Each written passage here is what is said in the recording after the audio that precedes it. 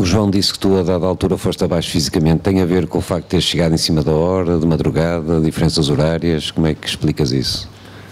Eu não sei se tem a ver com isso, talvez tenha ajudado, mas uh, eu, sem dúvida, do primeiro para o segundo set me senti muito. muito. diferente fisicamente. Sem dúvida que fui um bocado abaixo, não. não estava contente com com, com, com, como me sentia na, no início do segundo set, ainda tentei tentei vibrar ali alguns pontos para ver se, se conseguia buscar alguma energia em algum lado. Mas não sei, talvez tenha tido a ver com a viagem. Uh, definitivamente senti-me mais, mais cansado nos últimos dois sets, sem dúvida Tu, quando estavas eh, no corte hoje, uh, em algum momento lembraste daquilo que se tinha passado o ano passado? É um bocado inevitável uh, lembrar que o ano passado jogaste com o João Sousa e terminou de uma forma que, que ninguém gostaria, não é? Lembraste algum momento disso? Lembrei algum momento disso. Uh, eu acho que desde, desde o sábado que eu estava no Brasil, acho que tenho isso na cabeça. Que eu vi o quadro e é a primeira coisa que vem à cabeça, não dá não dá nem para controlar, não é?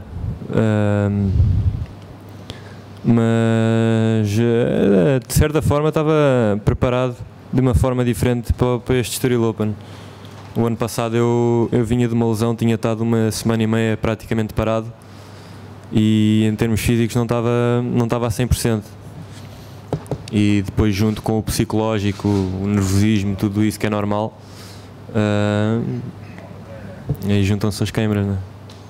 Mas este ano estava melhor, só a parte do, talvez não da, do cansaço assim de fatiga, mas mais a parte uh, assim de, de, pulmão, né? Falta de, falta de ar assim alguns pontos e uh, não estava a recuperar tão bem de um ponto para o outro. Mas acho que mesmo assim, mesmo assim foi, foi um bom jogo. O João, o João jogou bem durante, durante os três sets e mereceu. E apesar da derrota, achas que podemos dizer que estás no teu melhor momento da carreira? Uh, tu hoje és, entraste novamente no top 200, já o tinhas feito no final do, do ano passado, uh, mas sentes-te a, uh, a jogar o teu, o teu melhor ténis da carreira?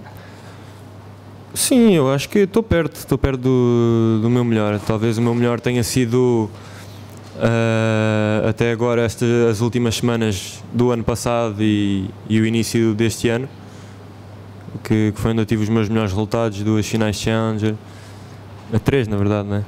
Mas uh, agora estou numa fase boa porque estou uh, bem em termos físicos, não tenho, não tenho tido lesões, então uh, os próximos pontos que eu tenho a defender são só no US Open.